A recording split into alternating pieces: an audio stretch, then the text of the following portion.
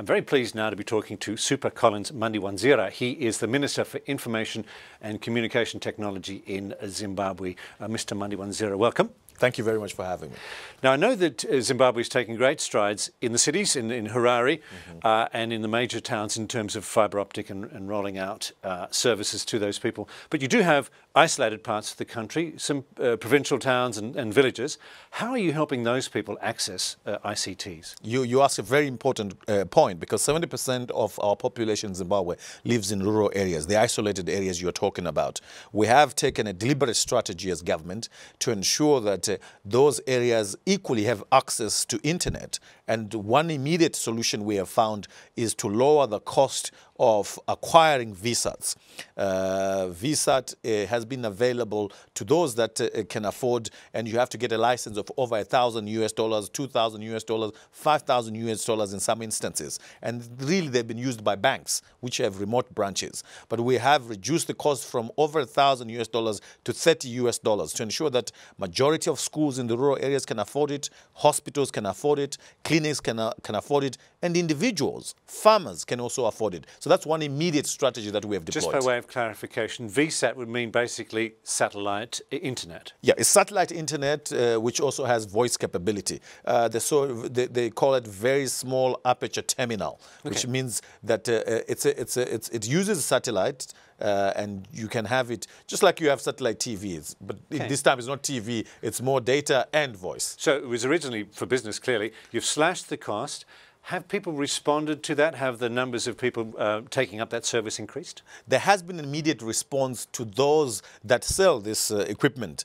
Uh, we have a government-owned company called TelOne, which is a fixed line operator, and now they're offering uh, broadband. They have immediately taken up this challenge, and they are busy right now running campaigns for people to know that it has become cheaper to access uh, this technology. So there's quite a huge demand according to their numbers. And of course, we have other companies that are now also taking advantage. And of course, for banks, we have reduced their costs, but we are also encouraging them to say, well, the savings in terms of your budgets, your budget to spend so much money, can you help the communities?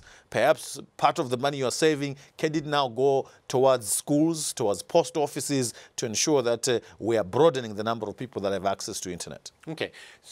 Um, in, in the community centres themselves, are people able to access this internet or do, is it all through the banks, as it were, in these villages? No, no. In the communities, what, what is happening is that we go onto a school, they have this infrastructure. So during the day, uh, the pupils, the students have access to the internet. Mm -hmm. In the evenings, the entire community they can go and also access uh, this internet. So it really runs under the, the banner of Connected School, Connected Community program, where once the school has internet, once the school has this infrastructure, in the evenings, because it's not being used, we can get the community to get involved. And what do you think, or what do you hope, will be the benefit to Zimbabwe from this program? I think that, you know, Zimbabwe is an agricultural economy. A majority of our people, have, as I've said earlier on, live in rural areas. So now easy access to information, uh, information relating to health programs, information relating to outbreaks, uh, weather patterns, agricultural information, market information. We think that this will improve the economic activity in the rural areas. But more importantly, education is the most important thing. We are renowned on the African continent as a country for having the most literate uh, uh population, and this will enhance that. Well, uh, Minister Mandiwanzira, I thank you very much for your time today. Thank you very much for having me. It's been a great pleasure being here.